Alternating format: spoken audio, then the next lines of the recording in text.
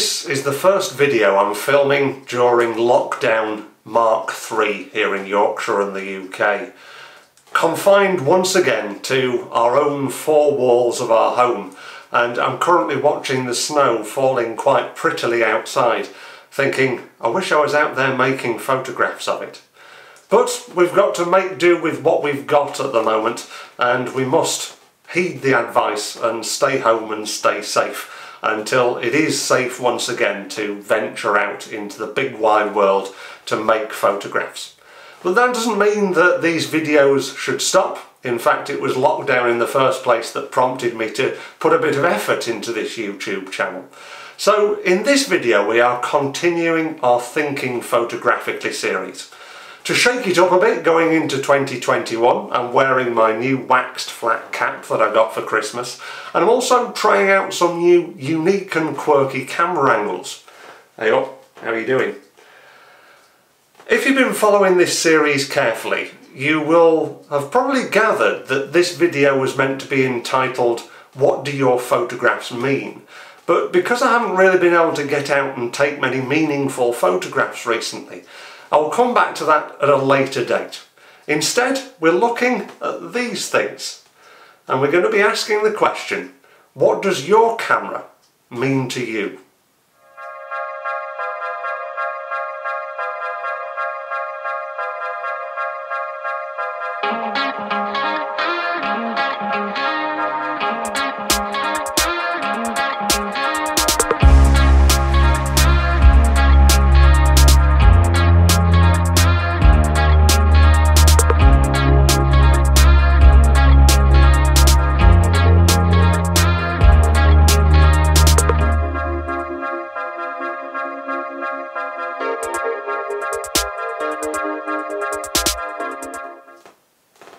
Photographers, our cameras are pretty important, aren't they? Without them, we just simply wouldn't be able to ply our trade and make photographs in the first place.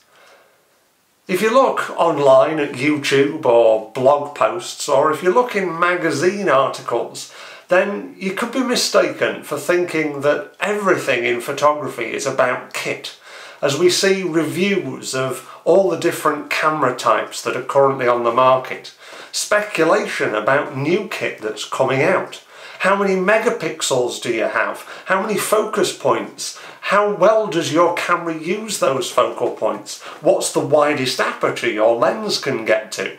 And as we start taking on all this information, we start to feel this inferiority complex where we think that this little piece of kit that we're using isn't good enough so we have to buy into all this new kit to make our photographs better than ever before. But is it all about kit? Or is that just a way that the camera manufacturers try to get into our heads and tempt us into purchasing things that we don't necessarily need?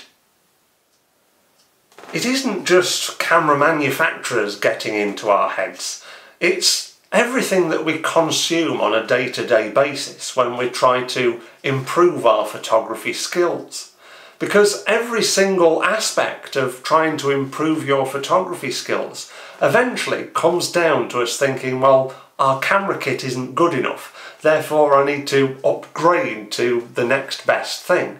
Because we all tend to buy into this idea that equipment makes our photographs better, it isn't just from the camera manufacturers and the people that are sponsored by them on YouTube to try and get us to buy their wonderful kit in order to make our photographs better. It also comes from the people that we talk to. If you talk to other photographers, you'll hear things like, I'm a Fuji man, or she's a Nikon girl, or they're Canon people. And as well as it becoming this feeling that we have to improve our photography by buying into new kit, it also becomes part of our identity as a photographer almost. That the, the equipment that we use defines the photographs that we make. And for me, that's quite a scary concept I did a talk for a photographic society a few years ago and as I walked in to introduce myself to the president They were talking to somebody who had just turned up to that photographic society for the first time. And they had this camera in their hand. It was a Nikon camera. And they were saying to this president, can you help me to use this piece of equipment? And all I heard them say was, sorry, I use Canon.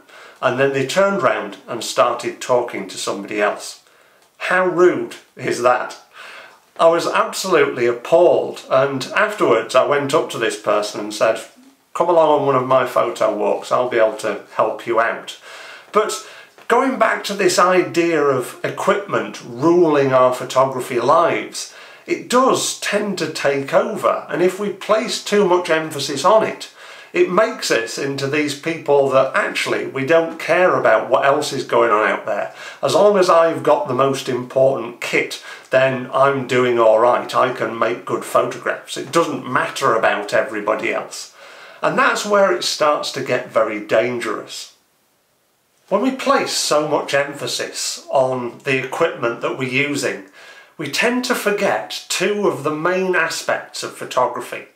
Firstly, the subject that we're photographing, and secondly, how we are interpreting that subject as an individual photographer. Both of those things have very little to do, if anything to do, with the equipment that we're using. We've got to remember that our camera is just a tool. A few years ago, I was down at Photo London listening to an excellent talk by the abstract photographer Adam Fuss. At the end of the talk, he opened the floor to questions and answers, and as he put his final photograph on a screen behind him, somebody asked, What settings did you use to make that photograph? And his answer was, If you're asking me that question, you're not looking at the photograph properly. And I remember thinking at the time, that's a bit of an abrupt answer. That person's probably just starting out in photography, trying to work out the camera settings and how to work the camera, which is a very valid thing to do. We all have to do that. But as I went away and started thinking a bit more about what he'd said, it started to sink in and make sense. Let me put it this way. Imagine you've just seen the first ever performance of Shakespeare's Romeo and Juliet. And at the end of the performance, Shakespeare himself walks onto the stage and says, Right, I'm going to answer any questions that you have. And somebody puts their hand up and says, Lovely play, Shakespeare, but what quill did you use to write the play? It seems an absolutely stupid question because when we go and see a play, it's the, the storyline that the play exudes. It's the way that we feel when we are watching that play, the sense of being part of the story. It's not the tool of the trade that we're looking at, it's the final performance. And as I said in that last video where Ansel Adams likened the process of making a photograph to a composer writing a score and then the photograph itself being the performance. If that photograph is to be a performance, then the things that have gone before it, the tool that we have used, is no longer at the forefront of either our or the people that are looking at its minds. Don't get me wrong, it's nice to own an all singing, all dancing camera just like if you're a mechanic, it would be nice to own an all singing, all dancing toolbox with every single tool that you could ever wish to need under the sun stored within it. Even if you could do your job with just a few screwdrivers and a couple of spanners. The difference is that we have to know that our camera is a tool and then once we've used it we have to remember that the photograph is a final product. You're not going to look back at your car after its service and think the mechanic didn't use that specific tool on it, or they didn't use the state-of-the-art wrench that does a specific job. All you're bothered about is that your car's been fixed.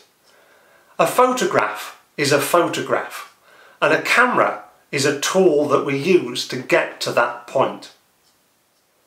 As the great photographer Richard Avedon once said, it's not the photographer that makes a good photograph, it's the eye and the mind of the photographer.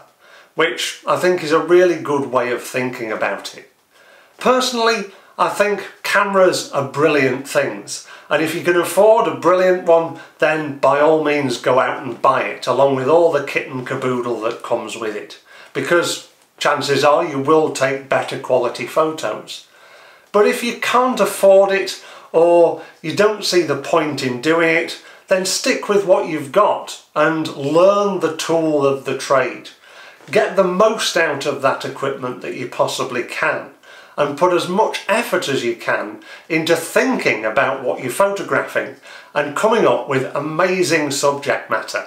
Because at the end of the day, that's the thing that people are going to look for in your photographs. Somebody who's walking through a gallery or looking at your gallery on your website or looking at social media isn't going to think, well, oh, that photograph was taken with this camera, therefore it's better than if it was taken with another one.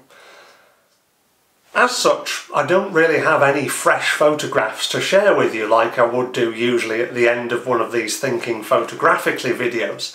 So I thought instead I would share some of the photographs that I've taken through the years simply on my mobile phone, not my Nikon Z6 that I've got in my hand here.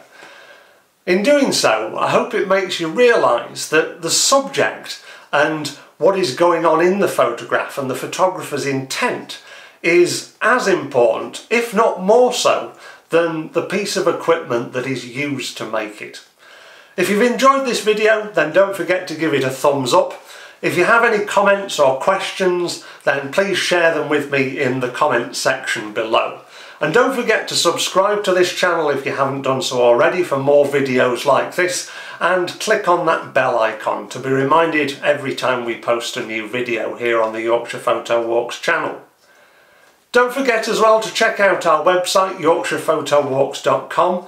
With it being locked down we're not going out and about taking photographs and doing tuition sessions at the moment but we are doing a few online sessions over the next few months and of course it doesn't matter whether you're in Yorkshire, the rest of the UK or wherever you are in the world you can still take part in them so check that out at yorkshirephotowalks.com.